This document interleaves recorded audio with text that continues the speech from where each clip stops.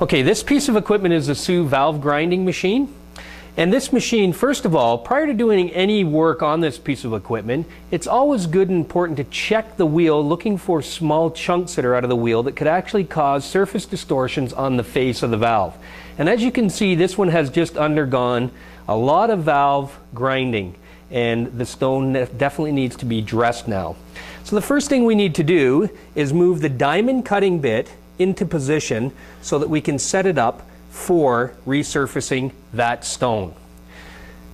As I move it across, I need to back out my motor assembly so that I can bring the stone into an appropriate dimension so I can reface it.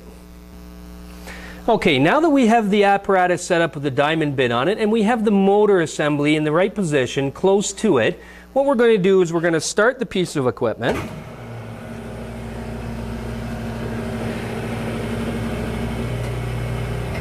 And then we're going to shuttle across the stone. And now that I'm positioned correctly, I'm just going to move the motor in until I just start to make contact with the stone, which I am now. Now I'm going to move the oiling head over and supply enough oil directly to this to provide us with a nice even cut.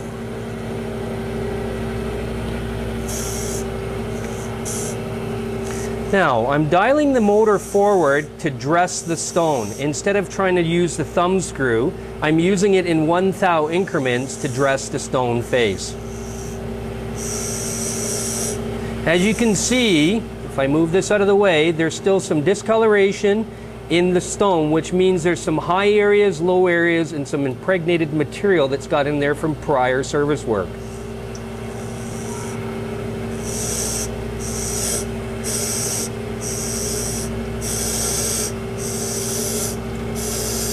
Now, it seems like there's a lot of material being cut off, but I'm only at about 4 thou of movement at this particular point. One or two more passes and the stone should be appropriate for doing the service related work that I'm going to do instruction for.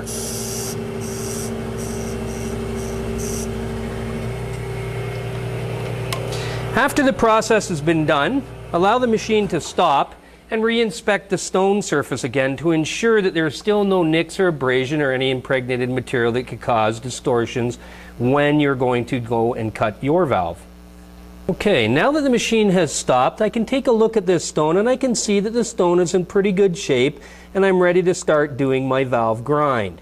The next thing I have to do is to go to the opposite end of the piece of equipment and, ins and ensure that the end dressing stone, instead of the facing stone, is in appropriate condition too for starting my service procedure. Now, taking a look at the uh, dressing, the end dressing stone here, I can see that there's still some distortions in this stone from prior service related work. Again, we have a diamond dressing tool, and what I like to do is bring it up to make sure it's not into contact at this particular point. Then we're going to go in and we're going to start our piece of equipment. Once we've started the piece of equipment, you can see that we have ample lubrication supply. It's a little bit hard to get it directed onto the end of this diamond cutting dressing bit. But as long as we get sufficient there that we're not going to cause too much heat at the stone face or at the diamond face, then we should be fine for service.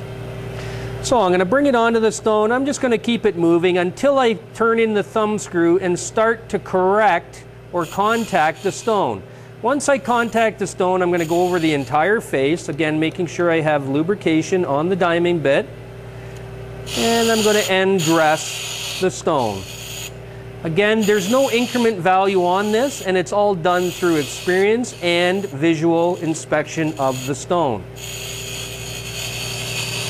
There's one small point in the middle here which is slightly darker than the rest, and that's typically where a lot of the service related work is done. So I need to cut through the remaining material on the front side of it and the back side of it to give me a good dressing area.